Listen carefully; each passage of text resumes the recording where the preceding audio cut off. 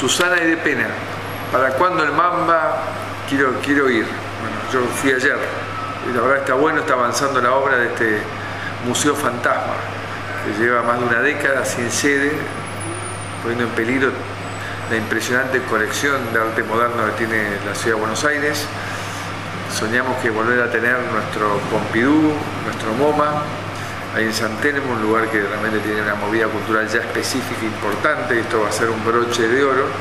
Y para antes de fin de año vamos a inaugurar la primera etapa, casi 3.000 metros, 2.900 y algo de metros cuadrados, con dos salas de exposiciones, una en planta baja, una en primer piso. Así que creo que está quedando muy bien esta primera etapa, las otras terminarán a lo largo del año que viene.